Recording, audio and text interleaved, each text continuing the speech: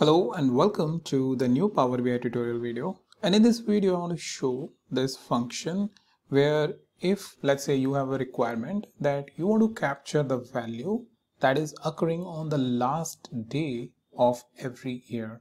In that case, this function, which I'm going to tell you in a minute, is something provide you the output, which if you need to compare let's say with rest of the other values or for any other reason if you want to capture that value for any summarization or calculation then you can do that. Also if you have a quick information that uh, if you have landed very first time on my channel then you will find just information for you that you will find this sheet uh, in the description the link of the sheet into the description so that you can easily access uh, all of my previously uploaded video also some of the videos which I've recently recorded here. And uh, you can search any of the video very easily by pressing Ctrl F since it is a Google Sheet and jump to the video using the link which is present in the column B. And uh, since it is live sheet all of my future videos will be updated. Like right now I'm working with this calculating month to date cumulative values. So all of those I list here and uh, as I find time I record it. So this list will always be updated so make sure you bookmark it and use it whenever you want to learn about a particular topic. Alright with that let me move on to the Power BI so here we are in the Power BI and uh, what I'll do is select the orders table and uh, click on new measure. And uh, here in the measure I will simply say value at the last day of year. I mean, you can create the name, whatever you like. I'm just going ahead with a very straightforward one for this tutorial purpose. So the function I will going to use is the closing balance year.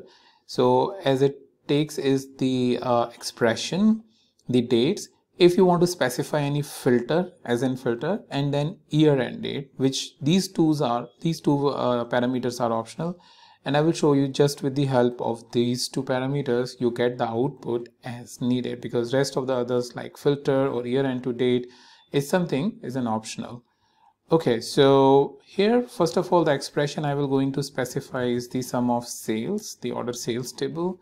So here in the orders table you have down there um, sales over here.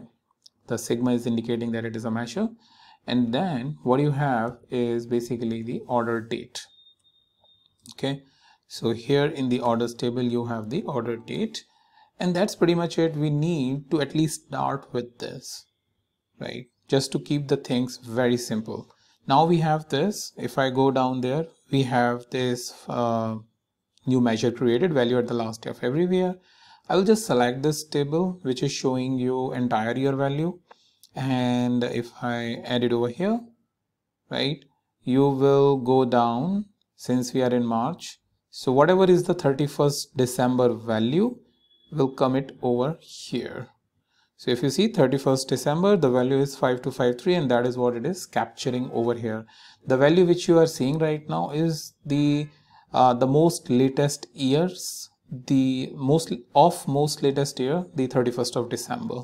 So if you go down which will be like way too much down because it's like multiple years as you can see uh, we will find that 713 is the value that is being recorded on the year 2020 december 30 713 is the value that you are getting over here. So that's the behavior you should expect when you are creating this value.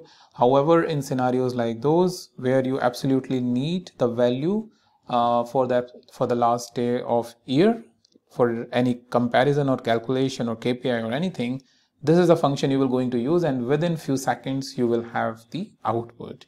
So that's pretty much I wanted to talk about in this video.